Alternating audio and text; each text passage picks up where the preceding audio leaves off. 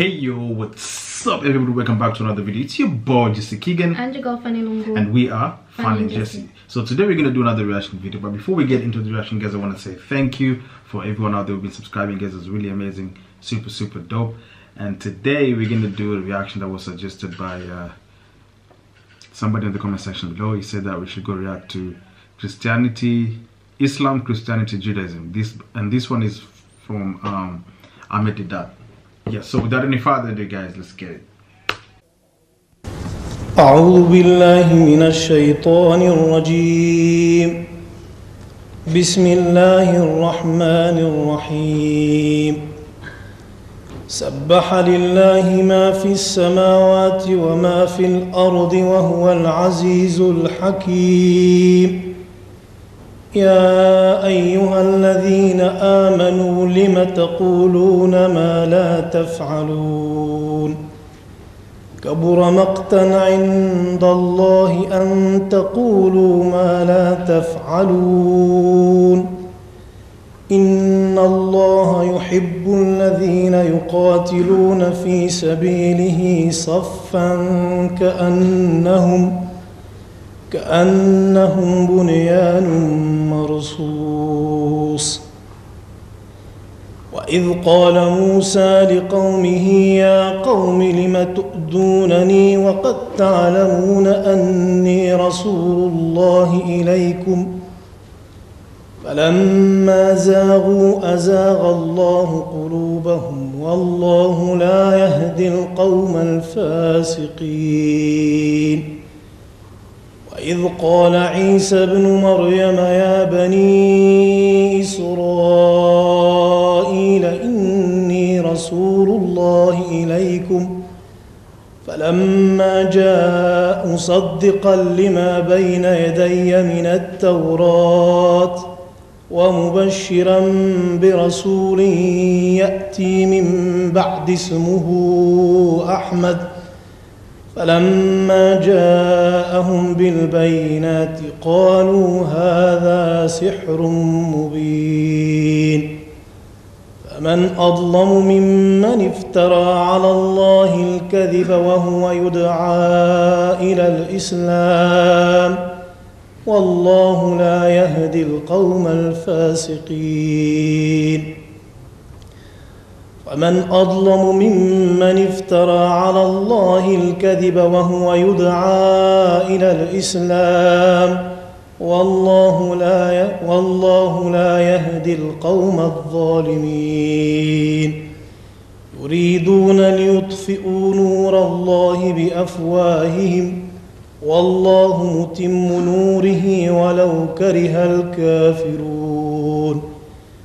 والذي أرسل رسوله بالهدى ودين الحق ليظهره على الدين كله ليظهره على الدين كله ولو كره المشركون. صدق الله العظيم. Dear brothers and sisters, believe me, I am equally a guest like yourselves in this historic meeting, this being the first visit of Brother Ahmad Deedat to Geneva. Three days ago, I received by post an invitation. No wonder the hall is not full. It should have been more than full, but many do not know that Brother Ahmad Deedat is in Geneva.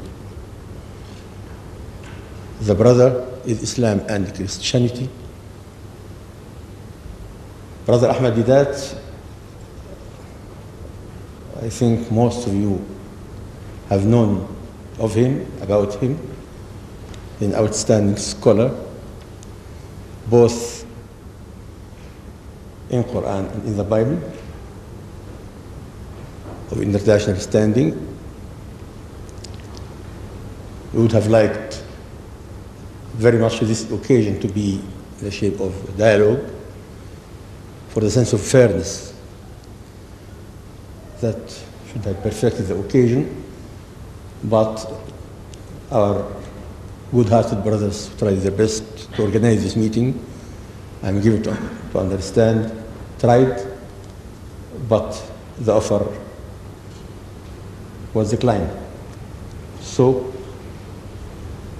we shall have the pleasure of listening to Brother Ahmed Deedat for 45 minutes, one hour, less more. It all depends on the spiritual rapport between you and him. And after that, there will be enough occasion for questions and answers pertaining to the subject.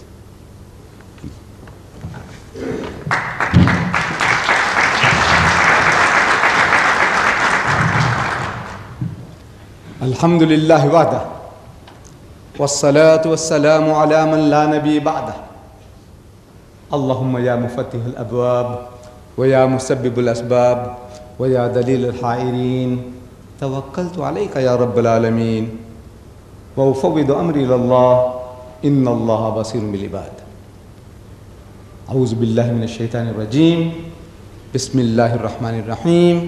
إن الله إن الدين عند الله الإسلام صدق الله صدق الله العظيم Mr. Chairman and brethren, the subject as has been advertised for this evening's discussion is Christianity and Islam. I think we would rather have it as Judaism, Christianity, and Islam. Because there is a definite affinity between these three great Semitic faiths. See, the religions of the world can easily be divided into two major groups. One group of religions called the Aryan religions, and the other group of religions, the Semitic religions. Among the Aryan religions, I would consider Hinduism, Buddhism, and Zoroastrianism. This is of the Aryan group. The Semitic, Judaism, Christianity, and Islam. The unity of these three faiths consists in the unity of God. You see, in the fundamentals of the teachings of Moses, Jesus, and Muhammad, may the peace of God be upon them all, there is not an iota of difference. I said, in the fundamentals of the teachings of Moses, Jesus, and Muhammad. I didn't say in the teachings of Judaism, Christianity, and Islam. Mark my words. Now, in the fundamentals of the teachings of these prophets, I said there is not an iota of difference. Between the religious groupings, there are many differences. When I say there is no difference in the fundamentals, I mean, like, for example, the first commandment. The very first commandment, as given by God Almighty to the holy prophet Moses, was in the Hebrew language, Shema Israel Adonai Eloheinu Adonai Echad, which means, Hear, O Israel, the Lord our God, the Lord is one. The first commandment. Some 1350 years after Moses, a learned man of the Jews called a scribe in the Gospel of St. Mark, chapter 12, verse 29, this learned man of the Jews comes to Jesus and questions him. He said, Master, in the Hebrew language, Rabbi, Maulana, learned man, Sheikh, Master, what commandment is the first of all? And Jesus answers and says unto him in the Hebrew language, Shema Israel Adonai Eloheinu Adonai Echad. Hear, O Israel, the Lord our God, the Lord is one. He repeated word for word what was given by Moses 1300 years before, without the change of a dot.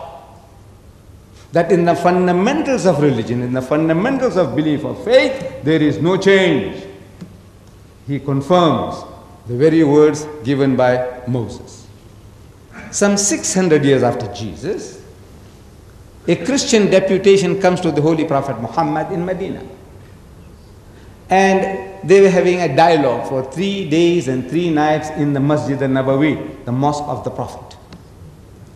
This mosque of the Prophet is in no way to be compared to our Islamic center, the mosque, the beautiful mosque here in Geneva. This must have been mud walls, thatch roof, and plastered with mud on the floor, maybe with grass mat or palm leaf fiber mat. This Christian deputation was accommodated in the mosque. They slept in the mosque, they ate in the mosque, they discussed in the mosque for three days and three nights. During the course of this discussion, this dialogue, the spokesman for the Christian poses the question. Said, All right, all right, now tell us, O Muhammad, among so many other things, says, Tell us now, what is your concept of God? And the Holy Prophet Muhammad is made to say, Qul huwallahu ahad. Say, He is God, the one and only. He said, Ahad, one and only. Jesus said, Echad, meaning one and only. Moses said, Echad, meaning one and only. What is the difference? It's the same word meaning the same thing. Ahad and Echad. Ahad in Hebrew, in Arabic means one. Echad in Hebrew means one. And the difference between these two words is only the pronunciation. If I, if the blackboard was any nearer, if I had uh, foresight, I would have told them to bring the blackboard nearer. I don't want it now. And if I had a chalk, I would write ahad. Alif, ha, da. Ahad in Arabic, meaning one and only. And to make it ihad, on the ha I put a dot. That becomes ha. Ha becomes ha just by putting a dot. That is in the writing, calligraphy.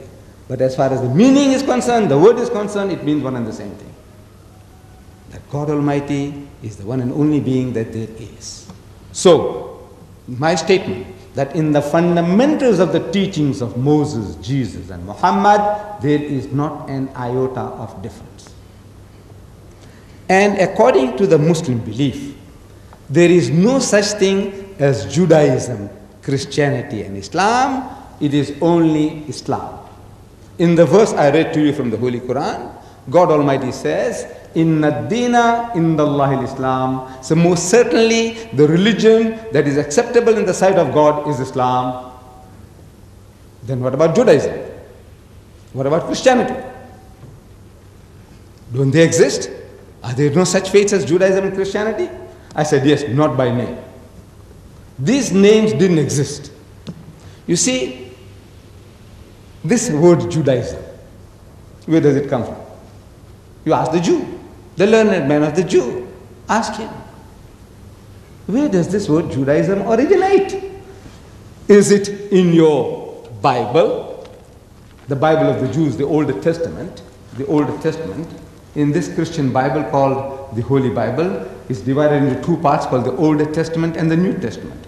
The Old Testament is the Bible of the Jews. Now, in this Old Testament, there are the first five books of this Old Testament called Genesis, Exodus, Leviticus, Numbers, and Deuteronomy. And these are supposed to be the Torah. We say Torah. The Jews says Torah. Torah means the law. These five, first five books. This is the fundamental, the basis of the teachings of Moses. Torah, Torah. Is this word Judaism to be found in the Torah? He says, no, it's not there. Is it in the Talmud? He says, no, it's not there. Is it in the Mishnah? He says, no, it's not there. Then where did you get it? Where did you get this term Judaism from? Did Moses hear this word Judaism? He says, no, he never heard the term Judaism. If Moses was alive today, if we can meet him personally, maybe in the hereafter, and if we had the uh, opportunity of questioning him, he said, Oh, Moses, tell us, what, is, what was your religion? What is the name of your religion that you are teaching? I do not expect him to say Judaism. Because the poor man, he never heard the word. He never heard the word Judaism in his life. What do I expect him to say is, said, my religion is a religion of total submission to God's will. A beautiful description, a lengthy description for the religion which he taught. Now, one word for that in the Arabic language is Um, I like it the way he just broke it down to uh, those religions, you know, like the uh, uh, the Judaism, Christianity, and Islam, and then on the other hand, there was the Buddhism, Hinduism, and um, Rastafarian or something like that. I don't know what the name that is, but um, I mean, there's a lot to learn, and uh, what I mean, according to what I've just learned here, I mean, there's no much differences when it comes to um, the stories that are being told told in this in these books. I mean, they can't relate to each other, but now the differences are in uh, I think names, also uh, Judaism. There's the Old Testament, that's the Bible of the Judaism, uh, and then now Christianity they combine all together, and then Islam they have their own uh, Bible, the Quran. So, um, I mean, what he's trying to say is that um, Islam is the only religion that has been left, or maybe that should be looked into compared to the ones or something. That's how I feel like he, he was trying to go into. Because, I mean, I don't know if if we go back in time, if we ask the our ancestors which religion were you, or maybe which religion did are you um, into, I'm not sure they're gonna say the religions that they're they're they're, they're That here now. now. Yeah, you know, probably they had their own religion, which is kind of related to Islam and maybe Christianity, but they had a different name. I don't know, or maybe they didn't even have a religion. They just believed in something else. You know, maybe they just believed that hey, you know, um, you believe that the animals here. I mean, the the, the, the law of nature. You know, and you just believe when you die, you you come in as a the, the reincarnation and all those. They believe in the constellation, the stars, the cosmic energy, and all those things. So anyway, such a good uh, video. What do you think? Uh, from this, what I'm getting is that all three that were mentioned, Christianity, Islam, Judaism, all have the Old Testament in common. Oh yeah, And the stories. and um they then that should say something do you understand if we're going to share something in common or people out there sharing something in common so why not believe what something else is going to say it's like i was explaining in one of my videos it's like having book one book two and book three of something Or like having like editions or edition one, two, three, four. Yeah so um i don't know you thrown me off my point You say Um, like having book one, book two. yeah at the end of the day i guess what rises above these different religions is um the one god that's being spoken about it's like that's the most fundam- most basic thing the most common of all these three and you know at, at, the end of the day we, we can be having all these discussions and whatnot. But again when you look at the the basis of the or the foundation the fundamentals and all those kind of stuff you, you realize that at the end of the day um, we all go back to the source you know? At the end of the day there's one god that we worship. We have that common understanding regarding but then what's the source You know? of religion exactly so now because this also this video is also confirming to us that different religions have come at different times i remember what i did say yes first we started with this then this then that then now this has been introduced Islam is the last uh, religion, to, Mm-hmm. you know. So I don't know. It's it can be far fetched. It can be. We don't know what religion is going to come in next. You know, There's plenty that have come in Yeah. just not as popular there's so there's religion of oneness, which, and then now they're even talking about the AI.